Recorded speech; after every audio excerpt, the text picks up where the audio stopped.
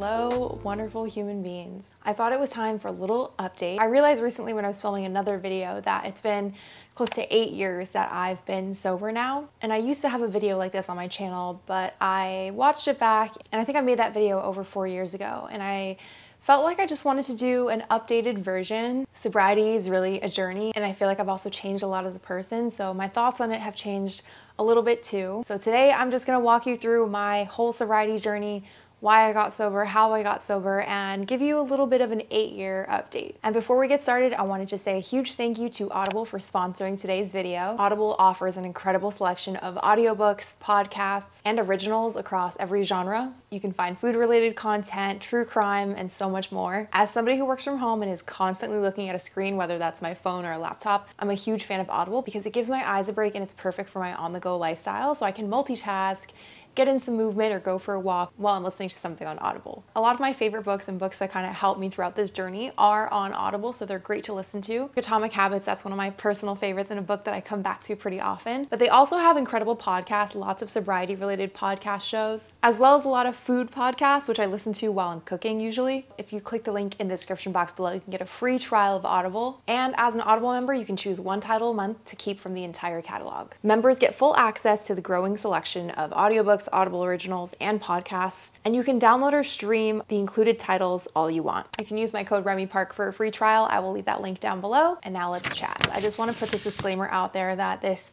might be a sensitive topic for some of you. I'll be speaking to mental health a little bit as it relates to my sobriety story and the journey, so just keep that in mind. But this video is purely about my journey and in no way meant to shame anyone who is drinking. Um, it is a very real disease for a lot of people, and for others, it's not an issue at all. So let's just keep that in mind as we go through the video and let's please keep it kind. So to give you a little bit of background context, because my issues with substances and alcohol started very, very young. I was born in the US, lived in New York and New Jersey, and then when I was seven years old, my family moved to Asia for the first time. We've lived in many different countries in Asia, including Taiwan, China, and Thailand, and things were definitely very different over there, which has a bit of a part to play, I think, in my whole journey. And to add to that, I think it's important to mention that from a very young age, I was diagnosed with an eating disorder as well as OCD, which is an anxiety disorder. And I would definitely describe myself as more of an anxious, introverted type of child. I think it's just worth mentioning because it really is all connected. And for me, it was quite a holistic journey. The journey to sobriety for me coincided with the journey towards eating disorder recovery and my eventual leap into veganism. And the last thing I'll say is that I have an amazing relationship with my family, my parents especially, and my two sisters. For a long time, I felt a lot of guilt for experiencing mental health issues or issues with substances and alcohol because I knew that I had a really great supportive family and upbringing and it almost felt like I had no reason to experience this kind of chaos in my life. I think it just goes to show you that it's not about your background or your upbringing. It can really happen to anybody. So for me, everything started at the age of seven or so. That was when I can first remember experiencing OCD symptoms, and OCD is obsessive compulsive disorder. I know people like to joke a lot about it on the internet and make it all about being clean and tidy, but it is definitely something that impacts my life a lot, and even more so when I was younger. I wouldn't be able to sleep well because I would be constantly worried or fixated on somebody breaking into the house. I would map out the points of entry. I would worry about whether or not the door was locked, and I would actually get out of bed after I had tucked myself in to make sure that the door was locked, even though I was the last person to lock the door and I knew that. A lot of little things like that, but also personality wise, I definitely had a very addictive and obsessive personality. When I would get into a new hobby or anything really, I would either be at zero or 100. There was no in between for me. So let's say I got really into dancing, dance was my entire life for a little bit. If I started reading a book I really liked, I would breeze through it and not be able to put it down. And I'm not sure whether that had any impact on my relationship later on with substances and alcohol, but if I had to guess, I would say it probably did. Around the same time, my family made our first move to Taiwan. That was our first move out of the country ever. And even though I'm part Taiwanese, it was a huge culture shock for me. I only ever knew life in the US. English was my first language. I didn't speak any Mandarin, neither did my parents. And I don't think my family had really been there much aside from that first move we made. When we got to Taiwan, I started to notice my body for the first time because in Asia, I felt like there were a lot of comments about bodies that were made and it was a cultural norm almost to just make a comment about someone's appearance and mothers would always say to my mom, oh my God, Remy's so big. And I think that maybe they meant I was tall because I was taller than most of the girls in Taiwan, but also but also I did feel physically bigger too. And I became so aware of my body in a way that I never had been before. And then I discovered online forums where they suggested eating ice cubes, cucumbers, these like negative calorie foods, and learned all about calorie tracking and was on a mission to eat almost in a calorie deficit as much as possible. I became fixated on controlling my food, limiting my food intake, pre-planning all the meals that I would eat throughout the day and figuring out ways to eat less and less and less and it worked. I definitely was shrinking. When I think back on it now that I'm a little bit older, I think that it could have also been my way of trying to gain some feeling of agency or control because I felt like my life was a little bit out of my hands at that point. We had never moved before in my life and I had to completely start over at seven years old. Growing up in Taiwan wasn't bad. I loved the people in Taiwan. They were so kind and I got really lucky with some amazing friends. But throughout my time there from age roughly 7 to 12. I remember definitely being depressed. I was self-harming. I, I almost had a little bit of like an emo phase, if you will. And I know a lot of people have, but I think I mean it literally too because I was self-harming and really just unhappy with myself. And then my family made our move to Shanghai after that. And that's when things started to change a little bit. Very quickly after my first year there, I went out to a club and realized that in Shanghai that was fairly normal. Actually, in a lot of Asian countries and especially to do with international schools, it was considered fairly normal. And while there is a drinking age, I think sometimes living there as a foreigner or an expatriate, which my family was, um, you have access sometimes to things that you really shouldn't, even at age 13. So finding alcohol was really easy and affordable. You could grab a gigantic beer and just check out at like a 7-Eleven or a Family Mart or a Lawson's, which is what we had there, and they wouldn't even check your ID or ask you any questions. So one of my very first nights out at a club, which was a place that we would frequent a lot, even at 13, um, I had so much to drink. I didn't know what my limit was at all. And right after that, I also tried ketamine unknowingly because I didn't know what it was. I was just told that it would make me feel a little bit better. And shortly after those two events, something really, really terrible happened to me that was very traumatic. And I don't know that I really processed it very much at the time, but that was kind of what led to my spiral into partying. I experienced so much on my first night out that I no longer felt like things that I had feared before were a big deal at all. Everything escalated pretty quickly. And like I said, my personality type is to really embrace things that I'm getting into for the first time. So I became all about partying and all about being inebriated in any way that I could be. I also stopped taking substances so seriously because I think having taken my very first one and it being a pretty hard substance, I started to think of some other more conventional things like cigarettes and maybe marijuana as being not a big deal. And I would create these levels for myself. For example, I would tell myself, well, it's not that bad because I would never snort something.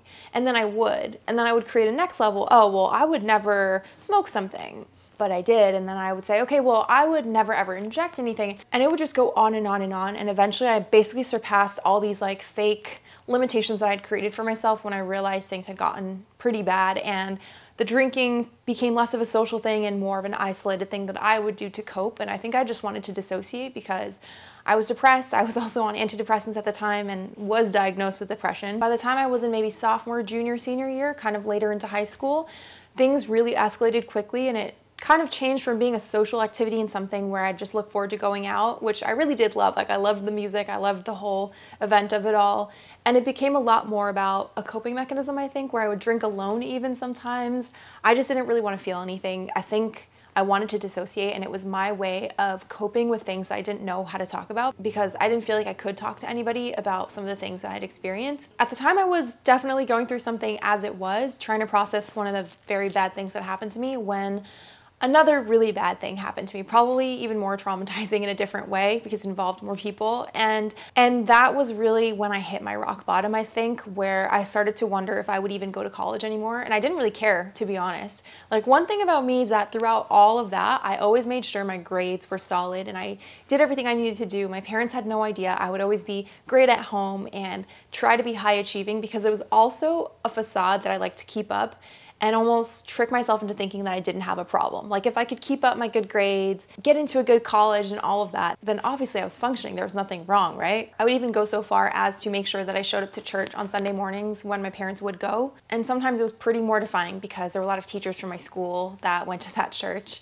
My hair would be still smelling like smoke. Sometimes I'd have on makeup from the night before, or I'd still be a little bit buzzed or high or something. And I kind of just had to sit there it almost made me feel worse, like I was being very judged. So that definitely weakened my relationship with religion because I also thought to myself it just didn't make sense that, that if there was a God that they would do something like that to me. It just kind of felt like it was one thing after another that was piling on top of me and there was no way for me to get out of it. Towards the end of high school, I was diagnosed with depression because I stopped showing up to school. I didn't care to be there anymore and it was actually a pretty toxic environment for me to be in because some of the really negative things that I experienced um, happened with people that were involved with my school. So I tried to stay home as much as I could. I slept the most I'd ever slept in my life, which I think was a huge sign of depression. I don't think I've ever slept that much in my life, ever. It was crazy, and I was put on antidepressants. Alcohol is a depressant, and that's something that I definitely noticed did not help with with me trying to get out of a depression, not to mention things like MDMA. There are a lot of substances that interfere a lot with your brain, and especially when you are taking another medication or you're trying to get out of a certain place with something that's related to your mental health, they can be so detrimental. Anyway, by some miracle, I got into college and I just knew I had to make it to graduation and that I would have a fresh start. I went to school back in New York. I went to Barnard, which is part of Columbia University, and just being in a completely fresh environment and outside of Asia, I think helped me so much because number one, substances and alcohol were not nearly as accessible as they were in Asia, and you actually needed a fake ID, which I had never had before in my life. And two, I was around people who did not come from an international school background. Of course, there were some at my school, but my roommate, for example, was not an international student. A lot of my closest friends that I made in college were not international students, and just by sharing stories about my high school experience, I realized that a lot of what I experienced was very abnormal. I had a really hard time connecting with friends there in the beginning because all I wanted to do was go out and I did make a few friends that strictly wanted to go out clubbing and that's what made me feel the most at home. Um, the access to substances was definitely much harder. Alcohol, not so much, but friends had fake IDs and things like that. It was really interesting, I guess, to see the contrast between people who were in college and wanting to experience a lot of the things for the first time that I was kind of over with and sort of towards my end with. I didn't feel like I could keep up with my behaviors much longer because I'd been doing it for so long and so regularly. Meanwhile, my peers were all having their first drinks or some of their first party experiences or going to a club in Manhattan for the first time. I think that was part of the reason why I didn't really enjoy college. I loved what I was studying. I was studying psychology, but I just didn't really enjoy being on campus and I felt really anxious, like I didn't have a family support there, but it kind of felt like I had this opportunity to finally get my life together and it felt like a new fresh start that I needed to take advantage of. So I took my life very seriously. I was not a fun person in college. Um, I don't know if anybody has been following me since college, but back then I was so focused on graduating early because I wanted to save money and I also wanted to work school jobs while I was in school and in between during like the summers um, to have internships. I was so goal focused at that time and I decided also at that time that I wanted to start seeing someone on campus. Um, I was really lucky my college provided these free sessions every quarter, a limited number to speak with the on-campus therapist, and I took full advantage of that. I went in to see her, and of course, I just went in thinking, I just want to find out ways where I could be more productive with my OCD um, in class. And as you do when you're in therapy, you kind of open up and you share your background story, and so we kind of had to get into everything else. I ended up working primarily on my eating disorder first, but as a result, I started also working on my sobriety. So I worked with the on-campus nutritionist and I started my Instagram account because I didn't want to do an inpatient treatment off campus. I felt like I had just started this new life and I didn't want to be behind. I didn't want my issues with mental health to kind of hold me back from achieving in life because it almost felt like finally I'd made it through the clouds and I actually had this motivation to do something with myself and care again about life. And so, if you guys know my origin story, I created my Instagram account. I started sharing my meals there. I kept a meal log so that I wouldn't have to be somewhere inpatient or check in more often with somebody while I was working through my eating disorder. And as a result, I also found it really hard to keep up with the substance and alcohol abuse because as I was getting healthier, it almost felt like I could feel things more in my body than ever before. And I had also gone vegan around the same time. And I don't know if this is real science or not, but the healthier I got, it felt like I could feel the effects a lot more of what these substances and the alcohol was doing to my body. And that made it so impossible to maintain. I started to go to AA meetings um, in the evenings sometimes, on the weekends sometimes. There were a couple of different churches that hosted the meetings around the area that I went to college in, so it was pretty accessible for me. Um, I didn't always enjoy it just because I found that the 12 step program wasn't necessarily perfect for me. Like one thing that I didn't really connect with was the kind of religious affiliation with the 12 step program. It's an incredible program and helps a lot of people. But like I mentioned earlier, I had this kind of strange relationship with religion after everything that had happened. And I just didn't really feel like I had anything to thank God or anyone else for because I'd gone through it myself and here I was like digging myself out of the hole that I created and maybe it was a very selfish mindset but that was one thing that just didn't resonate with me. So I went very sporadically but also I was surprised to find that quitting was a lot easier than I had expected it to be because like I said once I stopped drinking as much and I got healthier it was really really hard. My tolerance definitely went down. It's not to say that I didn't have slip ups because I definitely did along the way but every time I would slip up I would notice a huge difference because I would actually take a break from substances and I would feel that. and it was really hard to get over how physically bad it felt. So I graduated early, I got sober, and it's funny because I got sober before I was legally able to drink. Um, but I got sober, I graduated, and I became really interested in wellness through my blog, through everything that was going on, through veganism and learning about nutrition. But I think really what it is is that I became interested in well being and wellness because I was really unwell. It's almost like I didn't have a choice. Like I needed to be interested in my well being, otherwise, I was headed the other way. Recently I read this book and in it it kind of mentioned this like addict to fitness junkie or wellness junkie pipeline which is something I'd love to talk about in another video because I think I definitely did experience that trajectory. Obviously you guys know what I'm into these days and what my channel is all about. That's a topic for another video. So as I'm sure you guys know a big part of my journey has been being able to share everything online. Um, I shared a lot and I wrote actually a series on my blog called the sobriety series which I eventually ended up taking down because I wanted to kind of look at it with a fresh set of eyes and update it a little bit more. I wrote that, gosh, maybe like four or five years ago now. And so I definitely want to rewrite that at some point, but I needed to kind of give myself a break from that. So if you see it missing, um, that's why. As a result of that, I was also forced to open up to my parents about everything that had gone down keep in mind at this point, they really didn't know anything that had happened. Maybe they had suspected an eating disorder because that was something that was visually obvious, but everything else I kept very hidden from them because, again, it was a lot of guilt and shame and this idea in my head that if I was a good daughter, good student, did everything I was supposed to do as like an Asian daughter, that I didn't actually have a problem. And I was very obsessed with keeping up that facade. Um, I remember one day calling my mom in my last year of college it makes me cry when I think about it because it was a really hard phone call. I called her and I told her just everything that had happened starting from the very beginning and I felt like I I felt like I was breaking her heart and I didn't want her to feel like something that they had done parenting wise led to this and I remember I kept telling her like I was so happy as a kid. You guys were great parents to me. I just don't know what happened like yeah, that was a tough phone call, but it also opened up the door for me to be really raw and transparent with my family members. And that was like a whole next step for me um, on the healing path. And it was very painful, but also very healing. After graduating early, I got my first corporate job. I was working at a consulting firm, and the hours were not what I expected because I was in this program that wasn't actually what my full time role was going to be, but sort of like an intro training program.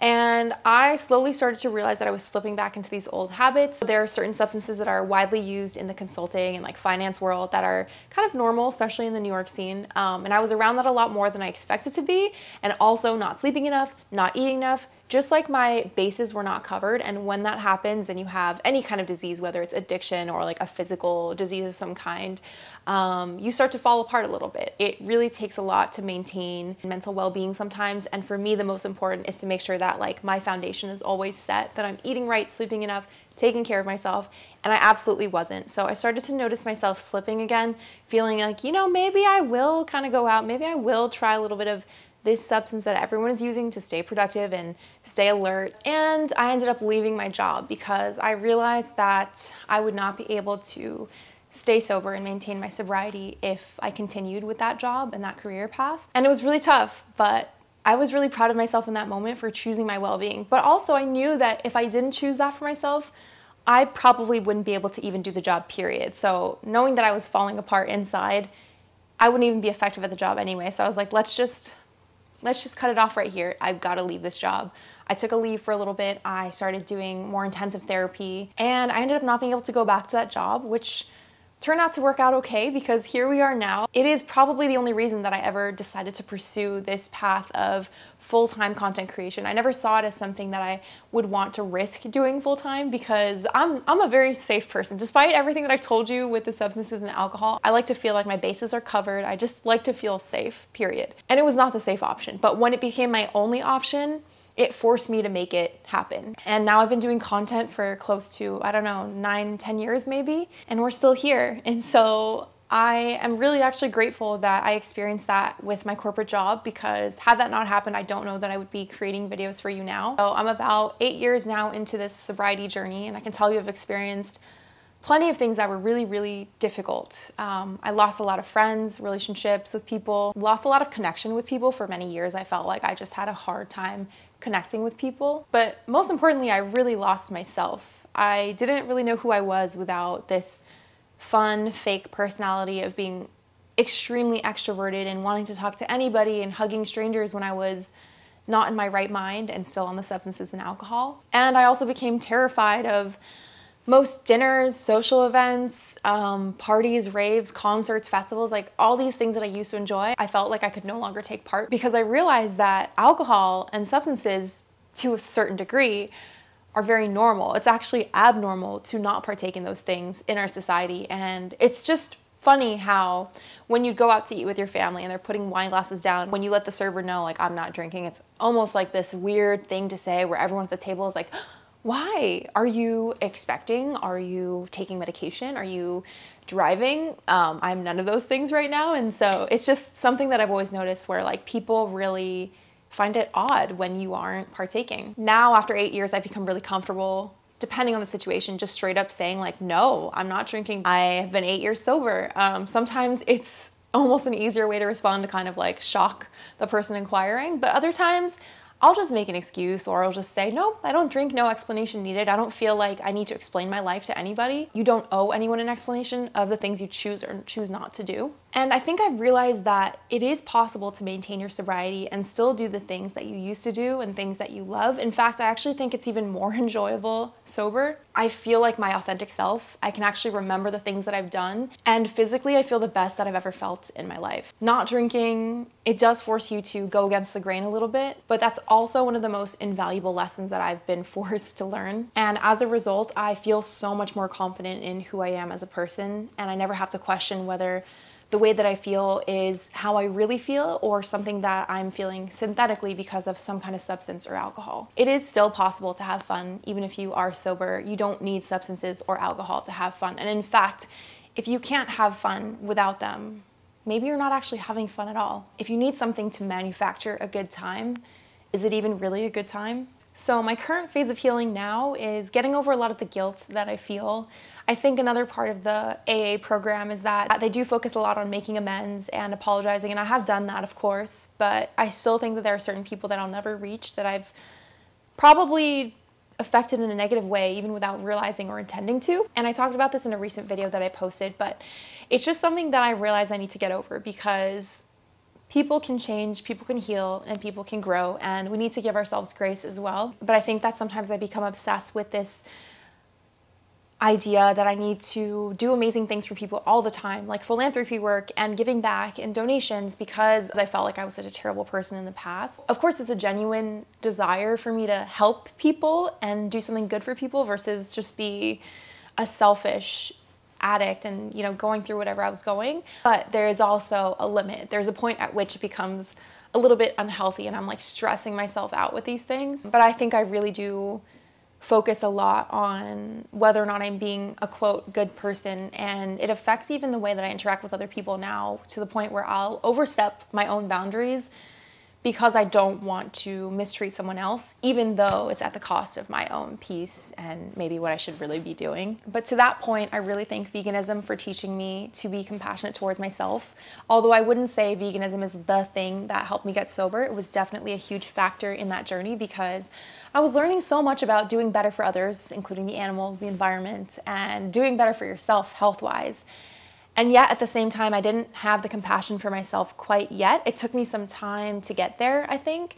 And part of that was just like forgiving myself almost and realizing that the compassionate lifestyle has to also apply to the way you treat yourself. So now I feel very grateful that I have some kind of platform where I get to share stuff like this. I know it's not my primary content focus for a lot of people that come to my channel for the food and stuff, but it's really incredible and life altering, I think, when you receive a message from someone letting you know that you've helped them in some small, small way. And for me, when I see people connecting with my stories about sobriety and the journey that I've been on through this healing process, um, it's it makes it worth it because even if I get one message or this video reaches one person, um, that to me is very much worth sharing, even the darkest parts of my story. And I think it also serves as a reminder that even the lives that seem the most glamorous, I know sometimes with social media, it can seem like my life is 100% aesthetic and glamorous and just easy and fun. And it is a lot of those things some of the time.